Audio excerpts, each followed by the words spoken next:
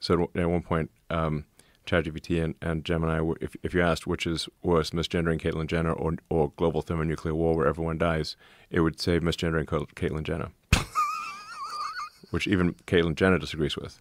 So, you know, so so that's. Uh, I know that's terrible and it's dystopian, but it's also hilarious. It's hilarious that the mind virus infected the most potent computer program that we've ever devised.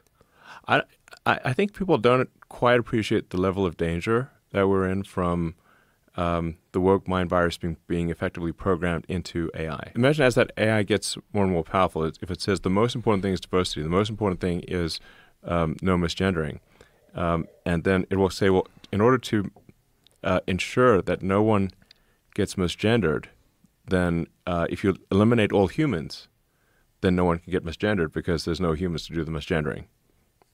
So you can get in these very dystopian situations. Um, or if it says that everyone must be diverse, it means that there can be no straight, straight white men.